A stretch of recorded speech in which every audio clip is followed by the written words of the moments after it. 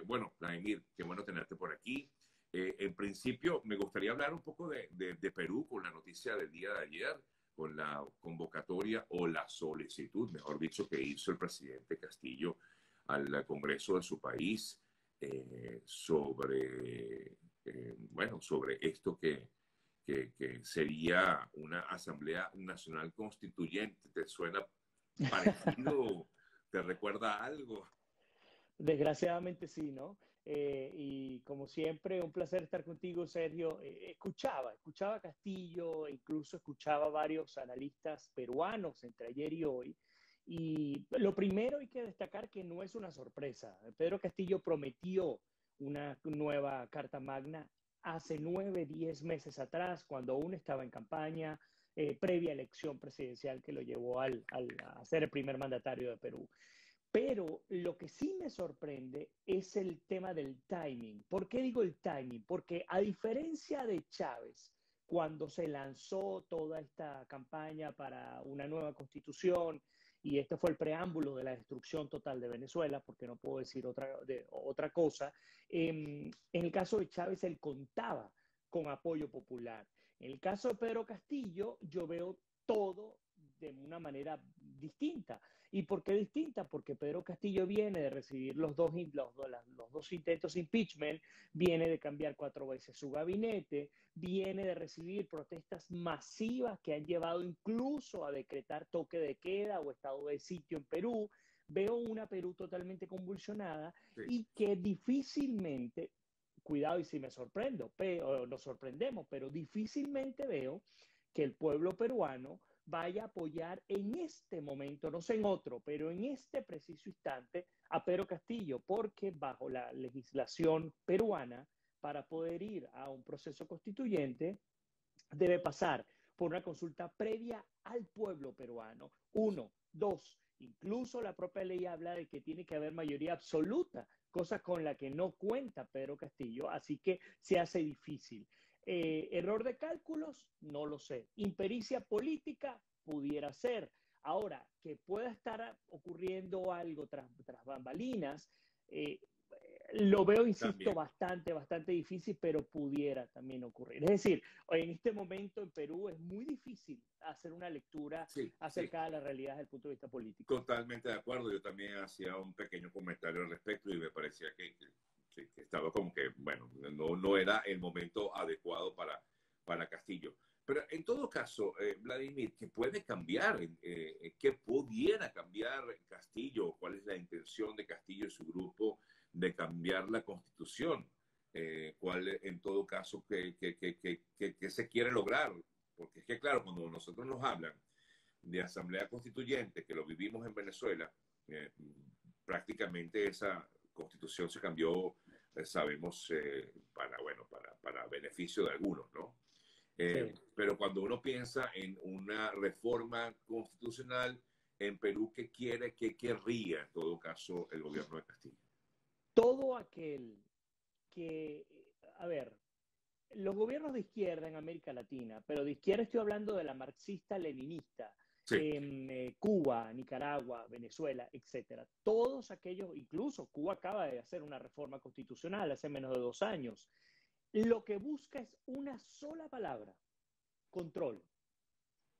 El control es la clave del éxito de los regímenes comunistas en el mundo. Y si no, vayan y pregúntenle a, bueno, no es comunista, es fascista hoy en día, pero el origen viene siendo comunista, el de Vladimir Putin con la Unión Soviética. El control. Imagínate, Sergio, si tú logras llegar a una reforma o una nueva constitución, una nueva Carta Magna en Perú, y tú eliminas, por ejemplo, la vacancia presidencial. Tú eliminas la posibilidad de que el Congreso te pueda sacar de la presidencia por considerar que tú eres insolvente moralmente, porque hasta el momento, eh, aunque yo tampoco esté muy, muy de acuerdo con esa medida, porque la han utilizado de muy mala manera en Perú, pero es una medida democrática. El Congreso tiene la posibilidad de sacar al presidente bajo unos supuestos determinados y con unas características determinadas. A mi modo de ver, lo primero que haría un hombre como Pedro em, em, Castillo sería definitivamente eliminar la vacancia presidencial. Pero más allá de eso, lo más importante es control. Entonces, así lo hizo Chávez. Fíjense que para que vean cómo se maneja maquiavélicamente el control del poder por este tipo de grupo de individuos. Sergio, Chávez no se lanzó la, la, reelección indefinida en la reforma. Cuidado, esta gente que sabe lo que está haciendo. Esta gente, yo no digo Pedro Castillo necesariamente, pero siempre he dicho, detrás de un tipo que parece un loco, un lunático y un descerebrado, detrás hay una maquinaria muy fuerte. Lo que pasa con Maduro, de Maduro por sí solo no vale, pero ni medio pero detrás de Maduro hay una maquinaria que es mucho más grande que él, incluso y que termina convirtiéndolo, como siempre lo he dicho, en una ficha de canje. Sencillamente, una ficha perfectamente reemplazable. Sea Chávez, sea Maduro, sea Cabello, quien sea, no importa, porque detrás hay una maquinaria lo suficientemente fuerte y que trabaja bien aceitada para mantener el control, que es la palabra a la que me estoy refiriendo. Entonces, para cerrar la idea de Pedro Castillo, pues a mi modo de ver, el peligro está no en una posible eh, constituyente inmediata y que genere una carta magna, sino cómo ese control que se pueda ganar termine destruyendo la institucionalidad del país. En Venezuela, ¿cuántos años trabajamos por la descentralización, Sergio? Fueron años trabajando por eso, años por darle fuerza a los estados. y me perdonas, yo recuerdo la, identidad que había, por ejemplo, del Estado en Suátegui, y los zulianos por allá, y los de Bolívar, y los de Sucre, cada quien tenía, digamos, era, era un poco el, el concepto de Estados federados, que nunca llegó a cuajar, pero el modelo iba por buen camino, era como cada Estado, de manera federada, podía explotar sus capacidades a partir de la descentralización. Bueno, ¿Qué hizo Chávez? No me conviene la descentralización porque eso me hace más débil política en mente, no puedo controlar bien el poder, así que voy a concentrarlo. ¿Qué pasó con la concentración? Pues destruyó absolutamente todo el país. Entonces, en Perú, cuidado, hay mucho peligro detrás de este tema de la, de la constituyente, aunque yo veo muy difícil que en este preciso instante se lleve a buen, a buen término. Si no se lleva a buen término, sería la cuarta gran derrota Diría quinta gran derrota de Pedro Castillo en menos de un año. Eh, entiéndanse, eh, o entendamos, la primera y la segunda, estamos hablando de las dos vacancias presidenciales que se intentaron, aunque las ganó, terminó golpeado.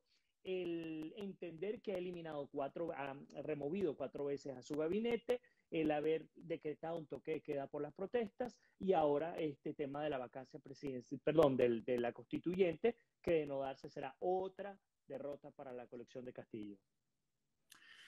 Vladimir, hablemos de otros eh, países. ¿Qué tal si hablamos un poco de, de, aquí de Estados Unidos? Eh, veíamos esta semana, eh, este fin de semana, el presidente Biden, en teoría, habría planteado lanzarse a la reelección.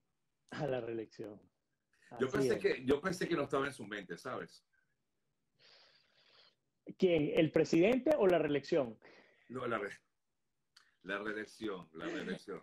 Eh, y lo digo, lo digo, lo digo irónicamente porque lo que sí es cierto es que en las últimas semanas, incluso Fox News sacó una, una, compilación muy hilarante de, de, los desaciertos mentales del presidente Joe Biden. Joe Biden tiene 79 años, no tiene que ver con la edad, conozco personas mucho mayores y están en una capacidad envidiable mentalmente y físicamente, em, pero eh, Joe Biden está demostrando eh, claras señales, ah, bueno, de que los, los, años le están pesando muy fuertemente. En menos de un mes ha terminado discursos en los cuales termina y voltea a saludar al aire, no, no se da cuenta que está solo, los reflejos le están fallando. Y no estoy hablando de este momento, cuando él fue candidato presidencial eh, y que compitió contra Trump, el tipo trataba de hablar muy rápidamente y se atropellaba porque obviamente está cansado.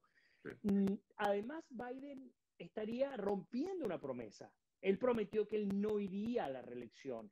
Y les pregunto a ustedes, ¿creen que el presidente Biden, presidente número 46 de los Estados Unidos, está en capacidad de gobernar un segundo mandato? Es una pregunta interesante para hacerle a la gente, porque aquí al menos en Estados Unidos, mm, yo creo que incluso muchos demócratas dicen, ¿saben qué? Mm, no estoy tan seguro de que él sea el hombre. Ahora, habría que entender también en paralelo que de Kamala Harris, que mucho se esperó, los demócratas esperaron que ella, eh, digamos, resurgiera como la espuma, no se le ha visto brillar, no se le ha visto tomar esa posición de la cual tanto se hablaba y no sé si es parte de una estrategia para que en los primeros dos años se le permitiera a Biden gobernar lo que pudiese y luego ya tomase eh, de alguna manera indirecta las riendas del país, esto pudiera ser, o pues definitivamente tampoco sería la figura a, a, relucir. De cualquier manera, la campaña presidencial es muy agresiva, ya comenzó en los Estados Unidos, aunque falten todavía un par de años para, para tener el nuevo presidente,